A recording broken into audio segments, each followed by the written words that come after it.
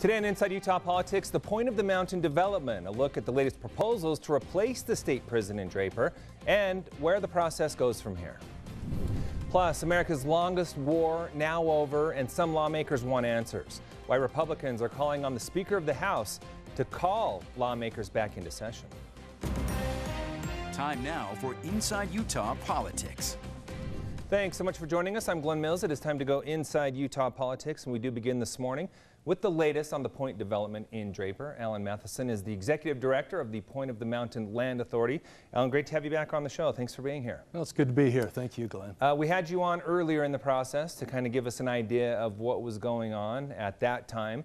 Uh, things have certainly changed since then, so excited to dig back into that today. But start off with just a little bit of background. What is the point? Well, we, refer to uh, that 600 acres of state-owned land currently occupied by the Draper Prison as the point. It really is uh, a unique opportunity anywhere in the country and maybe in the world where you've got 600 acres that will be undeveloped in a couple of years, starting from scratch within a, an area of about 20,000 acres of undeveloped land. It's right at the border of Utah County, Salt Lake County.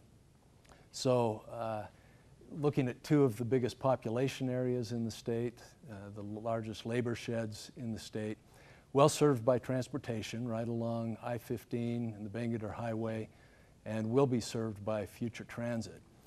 And then, of course, it's right in the heart of Silicon Slopes, this uh, great innovation area, a place where new ideas are being generated mm -hmm. and mm-hmm. created. Yeah, so, talk, talk a little bit more about how much of a role that played, because really you can kind of take a look at it and see it as a continuation of Silicon Slopes. Well, it's a, it's a great opportunity for us to think how we can solve problems in our community. The legislature made it clear that they wanted this to be a place where research took place. We want it to be a place where we think about the challenges of society, develop research, and then generate uh, new ways of creating and commercializing ideas that can solve those problems. There will be an innovation district at the site, uh, elements of higher education, working with industry, and some of the top minds in the country. Mm -hmm. uh, we, we were getting a look there at uh, some of the proposals. We'll dig more into those in, in just a minute. Pretty fascinating uh, when you look at those. But talk about this as an opportunity. You refer to this as a generational opportunity. Why is that? You know, we do, but uh, we're not the only ones. It's been interesting as we've talked to people around the country. This is becoming recognized nationally as really one of the great infill projects in the country and a chance to do some interesting things. We, you know, in Utah are a little concerned, I think, about growth. We know the statistics, growth is coming fast, and there's a concern among many that it can influence and impact our quality of life, uh, maybe negatively. We know that there really aren't good ways to stop growth. So how we grow is vital. And we think this can be a site that can help us grow in very thoughtful ways, ways that have you know, future focus on new transportation ideas, more sustainable development that uses less water, fewer air emissions, it can be a place, as we said before, of innovation where we're solving problems. And I think as we do this, and if we do it right, we can create some remarkable benefits for the state. Uh, let's get back into the framework plan now. The Land Authority approving that framework uh, back on uh, August 10th and uh, releasing that so that we could all get an idea of uh, what it entails. But talk uh, more deeply about the framework, the process that went into it, and what the ultimate result was. Well, we call this a framework plan because it's certainly not finished. It will evolve over time.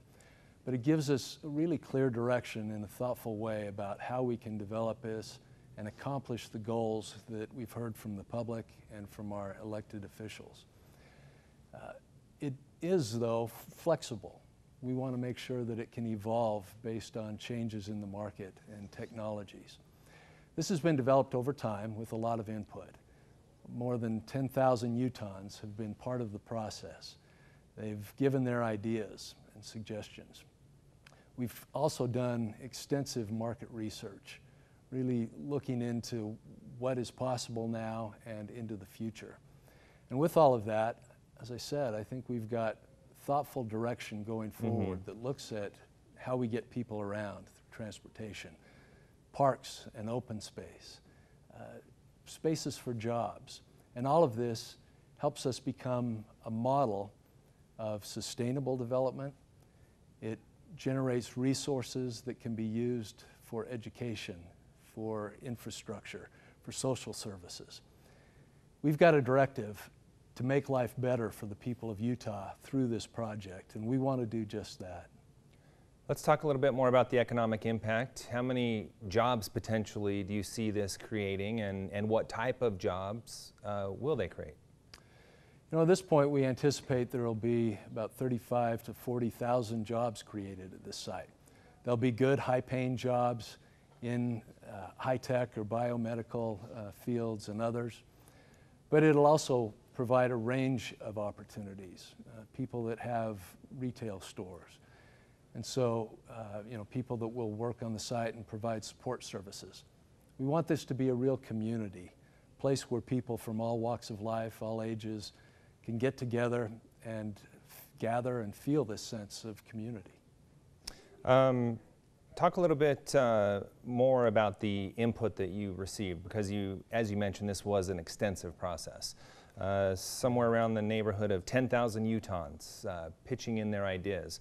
How did that all work? And taking all of that input, how did you, you know, put it all together in this uh, one plan that was released? You know, this is state-owned land, as we said, so we all own it. And we have a responsibility to make sure that it accomplishes broad goals, broad social benefits for the people of the state. So we need to listen to them. And we have through surveys, through open houses, through working groups and stakeholder advisory committees. And over a number of months, we took the input we received, evaluated it, uh, took the best ideas, and worked with our planning team to incorporate those ideas into the framework plan. When you take a look at uh, the uh, framework that we have seen uh, throughout the interview here, you, you get the sense that this is potentially a place you could live and work. Is that the idea here behind a lot of this? It certainly is. And, you know, I think more and more people are looking for convenience in life. They want to live and work in close proximity. But that also creates other benefits. It reduces off-site traffic generation, so there are fewer cars on the road. It affects affordability. If we're traveling less, if you can live closer to where you work, then uh, you can save money. It's good for our air quality. We're not traveling as much. So I think all of these things are broad benefits that can be reflected in thoughtful planning. Talk about the next steps, Alan. What can we expect to see moving forward from now? Well, we're just getting started. There's a ways to go, and we'll continue to listen to the public. We're doing some detailed studies now to look more at smart cities and internal circulators, uh, the sustainability measures that we might implement, and more to make sure that we've got the best information driving the best decisions. And in the, the near term, uh, toward the end of the year, we'll start a transparent and open and competitive process to bring on development partners who will help us think through the issues, get started on uh, the backbone uh, infrastructure for the site, and create our vision. And will you continue to uh, gather public input in that time frame as well? As we move forward, there will be certainly opportunities for more rounds of public input, listening to ideas. We don't believe that we've got a corner of the market on all the great ideas, and so it's going to be important that we work together as a community Mm-hmm. to prepare something that we can all be proud of. So, those that have ideas and want to share those, what's the best advice you have for them? Well, one great way to do it is to go to the website, and it's thepointutah.org. You can see the plans on that site. You can see all of the board meetings and other meetings that we've held that have been recorded, and there are opportunities to share input on that site. Mm-hmm. And then, one last question any estimate on when development may begin? Yes, uh, we expect that about a year from now, the inmates will be moved to the new correctional facility. Shortly after that, we can see demolition. You'll probably see some of the initial infrastructure going in in 2023. And then around uh, latter part of 2024 and 2025, some buildings will start growing out of the ground. Now this is going to take a long time to develop. This Sure. is a multi, multi-year process. But uh, it'll be fun to see it come together and we'll do it together. Yep, no doubt about that. And uh, we'll have you back on the show once we get a little closer. Uh, appreciate your insight. Thanks so much for being here. Thank you. Coming up, we have more on the point development. We're checking in with the mayor of Draper to get his thoughts on the project and how it will impact the city. Stay with us.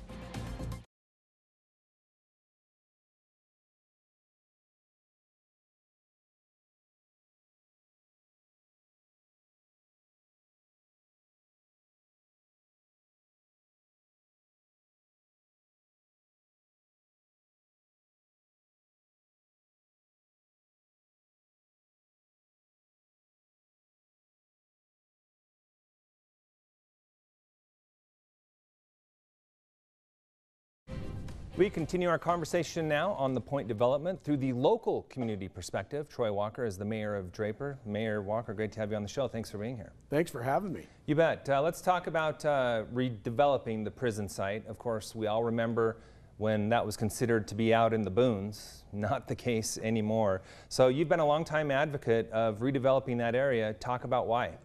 You know, it's it's I mean, it's been a long time as a prison. Everything's developed up around it, and it makes sense now for it to be something a lot nicer and more important than a prison. So that's why. And talk about how the city has been involved in collaborating with the state to get to this point that we are now. We we've done a lot of uh, of advocating. You know, I've been involved since really since I've been involved in politics, trying to to convince you know the powers that be that this is the right thing to do. And so we've been involved in the advocacy part of it, and then our, our currently our staff and our city manager are all involved in with the Point board and the Point technical folks in you know in helping put together the actual sort of structure, you know, from from a utility perspective and public works perspective and some of the technical perspective. So we're we're right there with them. Um, we you know we're in it. We've been involved in it the entire the entire time, and so you know we, it means a lot to us. So we want to see it done right, and we want to see it done in a way that we know will work.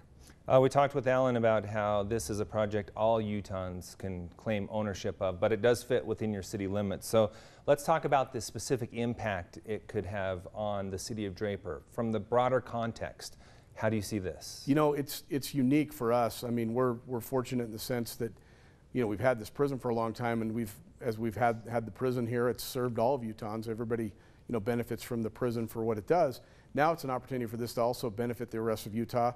Um, and my city from, from what it will do. And so we're excited about the economic opportunity and the quality of life and um, just the, the financial and employment perspectives and you know all the opportunities that we can have in a place like this. So centrally located, just perfect. You know, location, location, location. Yeah. It's a great spot, and it's going to make a it's going to make a huge difference to my city for sure, but it's going to make a, a huge difference to the state of Utah. So I'm glad to be a part of that. Okay, I, I want to dig into a couple things you just uh, said a, a little deeper. Let's start with uh, what you heard specifically from Draper residents. Draper residents, you know, we, we have kind of a, uh, we have part of our community that's more rural and older, uh, although most of it is developed up. I mean, Draper in and of itself is primarily built out except for this really this prison site. So my community, they see that as the place for the future growth. And that's, that's what every survey we've done. We, we did a scientifically, you know, valid survey a, a year or so ago and that that's what everyone in our community said, hey, that's where it should go. We want it to go there. Mm-hmm. That makes sense. We want to see it be something really fan- fantastic, but that's where it should go. That's where our future growth should go. So folks are on board with that concept, and that's proved out over the Point of the Mountain Commission, even if you go back a little further, as we've studied the whole Point of the Mountain area, that's what people want. People chose a denser and more, you know, high-end development right sort of in that mm-hmm. high-tech area. You also mentioned the economic impact on the city of Draper. Talk more, though, if you will, about specifically that impact and particularly tax revenue and what it may mean for, for budgets for the city. Well, you know, typically cities, we, we, we mostly live off sales tax revenue. Now, I don't necessarily see the prison side as being a great sales tax revenue generator, but I'm certain it will be. But it's certainly a place where you're going to have valuable buildings, uh, valuable development. You're going to have um, what I hope to be some of the best paying jobs in the country, if not the best, right there. So that economic spinoff that's going to that's going to spread statewide is what we're what we're really looking for. I- You know, it's going to benefit us from a property tax perspective. Certainly, there'll be sales tax. But when you have high-paying, high-quality employment, um, research, and, and, you know, great housing and, and recreational opportunities all in that little area, it's going to benefit us, it's going to benefit my- our neighboring cities and the state. Do you, do you see this becoming a type of city center, maybe? I mean, I know City Hall is, is uh, on the other side of town, but this appears like it's going to be a huge draw and could be potentially a place where there are city functions and whatnot Abs- as well. I think you're right on. Um, it's, it has the potential to be the place to be, um, and not only just for Draper, but uh, really the kind of the place to be for everywhere. Um, if we do it right, and you look at the, you know, sort of the concepts, that's going to be, it's going to be a place you want to spend some time. You may want to work, and you probably want to live.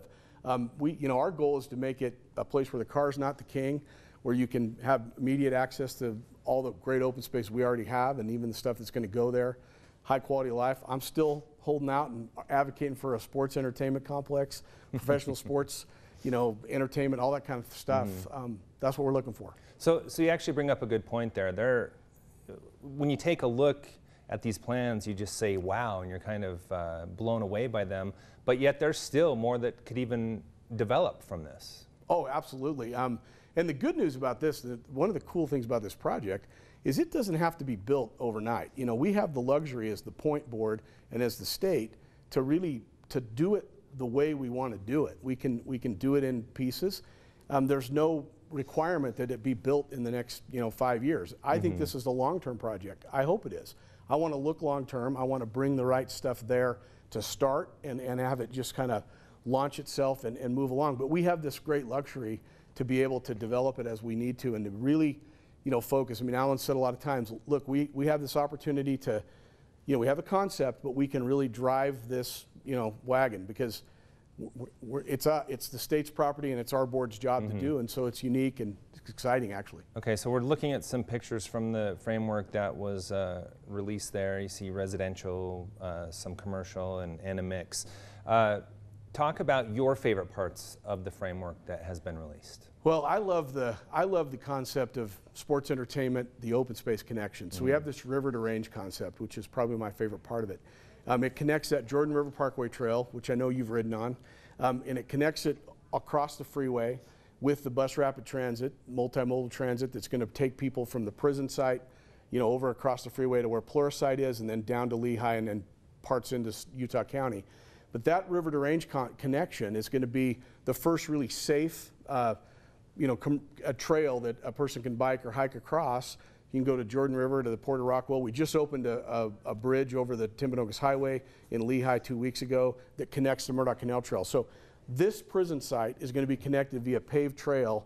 Really, you can go from Ogden to here, from here to Provo Canyon and back once we have it in place. So the connectivity for active transportation is going to be phenomenal, and I'm excited about that. Mm-hmm. Let- We, al- we also have a Central Park in the mm-hmm. concept that's going to be also an, another addition to our 4,500 acres of open space. Yeah, talk, talk more about transportation because that's a lot of that's that's an important point of this. The idea here to significantly reduce the need for cars. How does that uh, fit in with the city vision? you know, Glenn, we got to do this different than we've done anything else. This has got to be a place where we do the transit first. We put it in place first, and so we can show, you know, the, the future tenants, the future owners, this is what, what it's going to look like. This is how it's connected. So, so often, just because of how it's gone, we've had to build the transit to things afterwards. This is a unique opportunity for the state and for us to put it in first, and, and we got to do it in a way that the car is not king. We, we just, it's just going to have to be the concept going forward. We're going to do this in a way that you, you can get to this site, you can live in this site, and you can get out of this site without having to drive. Now, there will be cars, I'm not saying there won't, but we don't know what the future of transportation is going to be, especially public transportation. There's all kinds of things on the horizon, and this is going to give us an opportunity to build a community around the current best practices and what's looking, what we can see in the future as far as multimodal transportation. All right, uh, Mayor, we just have about a minute left. So as we uh, wrap this up, what is the role of the city moving forward? Our job is to, you know, we're, we're going to provide all this municipal services, police, fire, public works. We're going to, we're to plan and, and use our technical skills and ability to do the things cities do. You know, provide technical assistance in planning roads and sewer and, and, you know, public utilities and infrastructure, all those things that we do. We're going to be there and we're going to provide those services and we're going to, it's going to become part of Draper. Um, it's going to become the unique part of Draper and it's going to be an awesome part of Draper. So we're excited. Yeah, as someone who lives in the city of Draper, I know there's a lot of energy around this and excitement as to see how it all plays out. I- Uh, If you, if you look, just in closing, if you worked at this place, you could get on your bike from your office at lunch, cross that freeway on that new bridge, and be up in Corner Canyon riding vertigo, levitate. You could go up there and have a, an afternoon and get back to work, and it, it's going to be fantastic. Yep, some of my favorite trails. Maybe I'll see you on them. Yes. Thanks, Mayor. Appreciate your time. Thanks Thank for being you. here. All right, still to come, the Department of Education takes aim at states with mask mandate bans, including right here in Utah. The latest on that investigation after the break.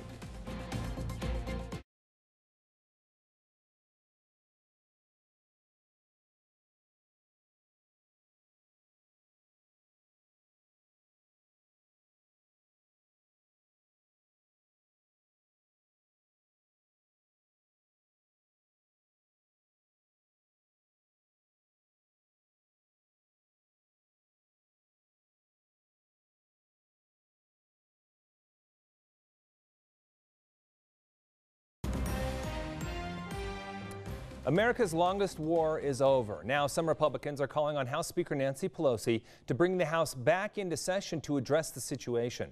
They want the House to consider legislation that would mandate reports on Americans left behind in Afghanistan.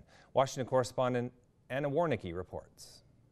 Even though it isn't in session, nearly two dozen Republicans stood on the House floor Tuesday, calling for legislative action to bring all Americans in Afghanistan home. basically demand from the administration that they tell us how many people are left behind, how many Americans have been stranded and abandoned uh, in Afghanistan. But after that protest failed, The House stands adjourned. Texas Republican August Pfluger says it's time for Plan B. Pfluger says Republicans will reintroduce their bill when the House debates the National Defense Authorization Act later this week. We will be bringing amendments to that process, and we will let the Afghanistan issue um, really get get into the details uh, of this bill. On Tuesday, President Biden defended his decision to withdraw from Afghanistan. The extraordinary success of this mission was due to the incredible skill, bravery, and selfless courage of the United States military and our diplomats. It's not mission complete until we get every one of our people back. But Texas Republican Roger Williams says the focus right now needs to be helping the roughly 200 Americans still in the country. We need to know what's happening. We need them to give us reports. And Texas Republican Michael McCaul vows to hold the administration accountable with or without the support of Democrats. to get to the bottom of how did this get so wrong? In Washington, I'm Anna Wiernicki. Education leaders in Iowa, Oklahoma, South Carolina, Tennessee, and Utah are facing civil rights investigations from the Department of Education for their ban on mask mandates in schools. Washington correspondent Rashad Hudson explains what the investigations entail. The Department of Education says the ban on masks in schools in some states could violate students' civil rights. We believe that that is preventing students from accessing um, education um, due to fears of illness. Education Secretary Miguel Cardona says the mask bans hurt students' learning opportunities. We're going to do everything we can to protect uh, our students' access to public education, which is a fundamental right. The Department of Education's investigation will also look at whether states are violating the Americans with Disabilities Act by putting vulnerable children at greater risk. Look at the data in the places where children are ending up in the hospitals. It's more likely to happen in places where they're not uh, requiring masks. If the investigation finds these states aren't following federal law, their funding could be in jeopardy. But Republicans like Alabama Senator Tommy Tuberville argue that schools should be governed by the states and not the federal government. For us to make decisions up here in Washington, D.C. for every state in the country makes no sense. That's not what this government's about. The Department of Education has not opened investigations in other states because the courts are already blocking the enforcement of their mask bans. Reporting in Washington, Rashad Hudson. Stay with us. We'll be right back with more Inside Utah Politics right after the break.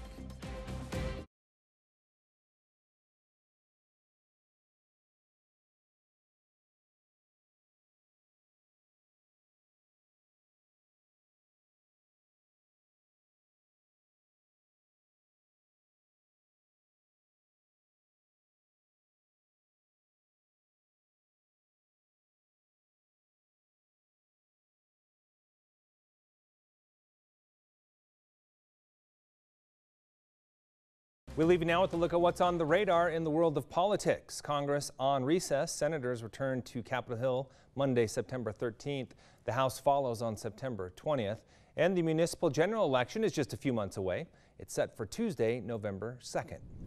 Make sure to connect with me on social media. I'd like to know what you think of this show and other issues that are important to you. You can email me at InsideUtahPolitics at ABC4.com. You can also connect with me on Twitter and Facebook. Just log on and search Glenn Mills, ABC4. Thanks so much for making us part of your Sunday morning. We hope to see you again next week as we go inside Utah politics.